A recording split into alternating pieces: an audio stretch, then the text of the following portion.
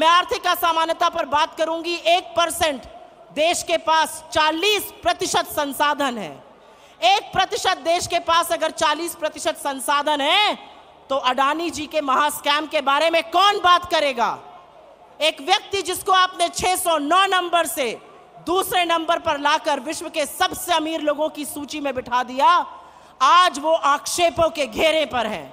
उनके ऊपर गंभीर आरोप है। उनके ऊपर आरोप है स्टॉक मार्केट में हेरा फेरी करने का। उनके ऊपर आरोप है पैसा बनाने का, उनके ऊपर आरोप है बेनामी संपत्ति का। आपने उनको मोनोपोली दी, पोर्ट में, एयरपोर्ट में, कृषि में, खाद्य में, सीमेंट में, रिन्यूएबल एनर्जी में।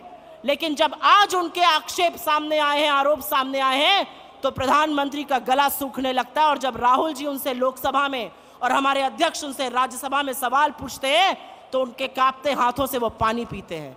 लेकिन एक भी संस्थान उनके खिलाफ एक्ट नहीं करता है। कहाँ है सेबी कहाँ है आरबीआई कहाँ है डायरेक्टरेट ऑफ़ रेवेन्यू इंटेलिजेंस कहाँ है ईडी कहाँ है इनकम टैक्स कहाँ है एसएफआईओ कहाँ है एमसीए एक शब्द नहीं बोला जाता है अडानी के खिलाफ।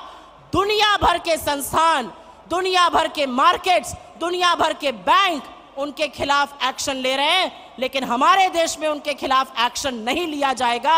और मैं उत्तर प्रदेश से आती हूँ और वहाँ पर एक लाइन है, जब सैया भय कोतवाल तो डर काहे का? और यही असलियत है। एक व्यक्ति एक्शन लेने को तैयार नहीं है। डाउ जोन्स और एसएनपी एक्शन ले रहा है, स्टैंडर्ड चार्टर्ड एक्शन ले रहा है, क्रेडिट स्विस एक्शन ले रहा है, सिटी बैंक एक्शन ले रहा है यूके का रेगुलेटर एक्शन ले रहा है, लेकिन हम एक्शन लेने को तैयार नहीं है। और इसका खामियाजा ये देश भुगत रहा है।